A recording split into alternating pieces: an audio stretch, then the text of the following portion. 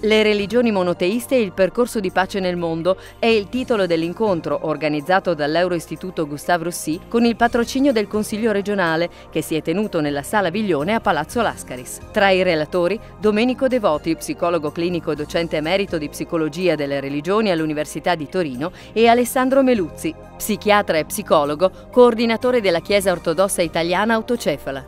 Ha chiuso i lavori la vicepresidenza del Consiglio regionale Daniela Ruffino.